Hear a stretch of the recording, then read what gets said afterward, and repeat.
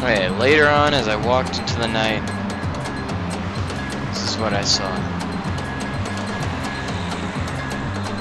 Freaking kids at hostels, parties from college, kids from American colleges were definitely the least friendly.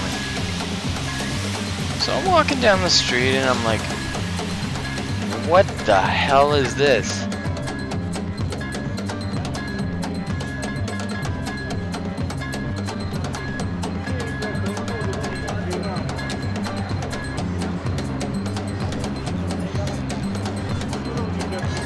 Freaking big muscle dudes in undies on stilts. Like, what the hell?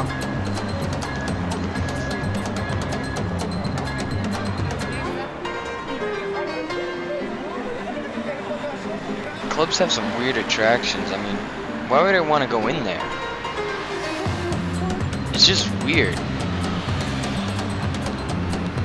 Not to mention gay, but I mean,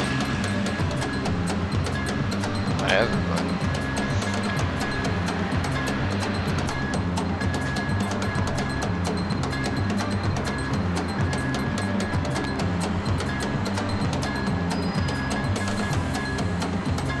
This area here, I think this is like Times Square in Madrid.